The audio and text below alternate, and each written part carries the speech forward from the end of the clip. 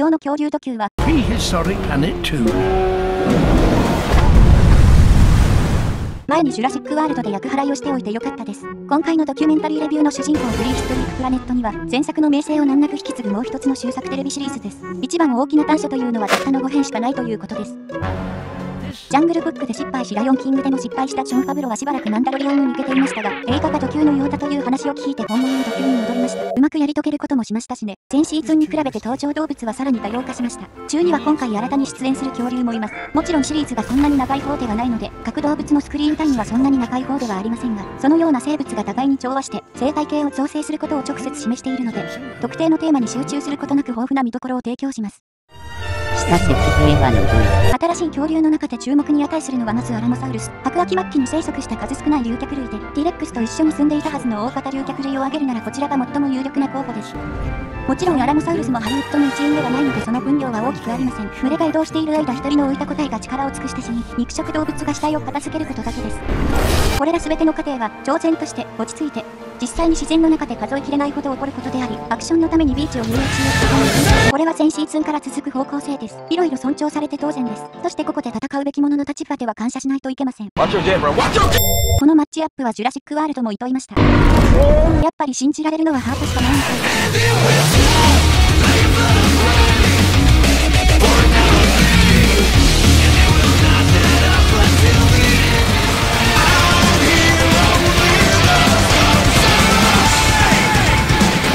いです。またあれがどうやって絵本が原作なのかわかりうん、あ、とにかく、フリーストリーク。フリーストリークプラネットには、基礎シリーズが成し遂げた基盤を利用して、前回のゴムでできなかったことを試みる姿が見えました。新しい動物だけでなく、いろんな場面がシーズン1では出なかったりできなかったりしたことです。元々の演出と CG は全然弱くならないままですね。ただほとんどの新しいシーンが狩猟と関連しているので、相対的に前作に多かった他の活動の比重が減ったと感じる人もいるそうです。今シーズンで最も多くのファンたちが認めた場面だとしたら、エピソード3の終盤、ティラノサウルス兄弟の夜間狩りシーンではないかと思います。前に水泳もしてデートもしたからご飯も食べれば完成ですね。もちろん借りたからといって他のところのようにモータルコンバットとコラボすることはありません。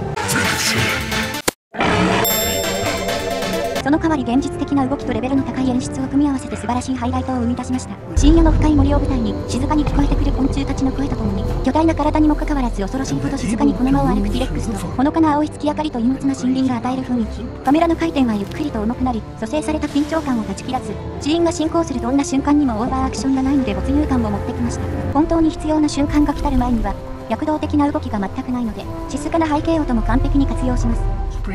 そして、そうやってシーンが終わりに近づくと。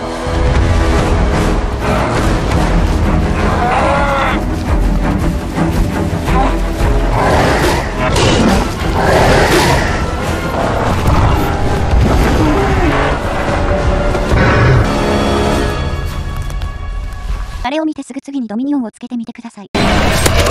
歴代級の技術力と演出が良い方向性と噛み合った結果ではないかと思います。ある時は恐怖感まで感じますね。美しい前景は舞台が変わっても全然色褪せませんよね。そして、このような景色に没頭するように手伝うことが恐竜たちの動きです。このドキュメンタリーのアニメーション技術は人間のものではありません CG のクオリティとは別に、動物が取る細かい動きのディテールはとてつもないものです。中途半端なモーションや突拍子もないタイミングは、どんなに質の良いグラフィックの中でも飛び出しがちです。ゲームをしたらよく感じると思います。全部完璧とは言えないけど、プリストリークプラネットの恐竜は、本当にそこに立っているように見え、行動します。ナレーションが静かでも、恐竜たちの身振りと音からどんな状態にあるかが一目でわかります。三つたまりを謳歌されてイライラするベルゼブ法とか、戦う寸前のパキケファロサウルス、ごちそうを狙おうとするラッシャサウルスなど、誰が見ても多くの努力が費やされたことを確実にわかります。ある誰かと違ってですね。シリーズ全体が最後まで性的なわけではありません。例えば5話では、死体を食べようとしたティレックスに抑留ケチャルコアトルスが飛んできます。滑稽な鳴き声を無視してまた食べようとしたが、他のヤッコがまた飛んでくるとリアルタイムの逆動画集に記載されないために戦いを選びます。A few moments later.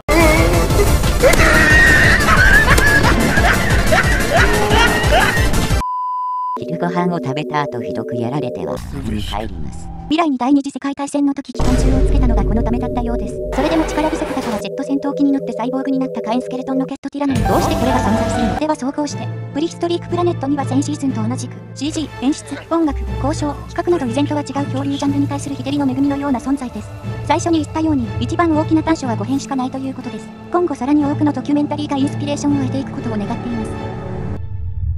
いじめのシーンはこう解釈できますよね。自然には力よりも多くの要素が作用するから、怪我をしたら回復も長くかかるし、喧嘩を諦めるのは変なことではないでしょう。それでも、緑流に、